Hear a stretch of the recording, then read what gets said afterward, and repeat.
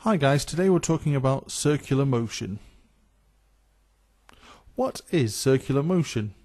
When a force is applied perpendicular to the direction of an object's motion, the object will undergo circular motion. The moon orbits the earth in a circular path because the force of gravity is always at right angles to the moon's motion.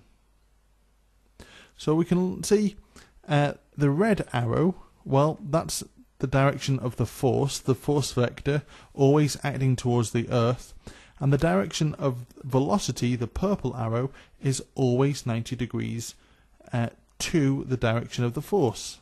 So this is why we get a circular motion. So what causes circular motion? Well, the force on the object acts towards the center and causes a constant change of velocity towards the center of the circular path. So here we can just see part of our circular path uh, we've got an object and it's at position A and then it's going to move to position B.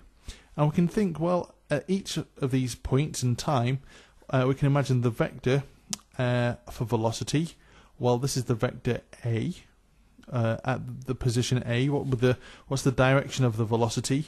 And then a very small amount of time later, it's moved on ever so slightly, and the direction of the vector is changed. So now it's the velocity vector B.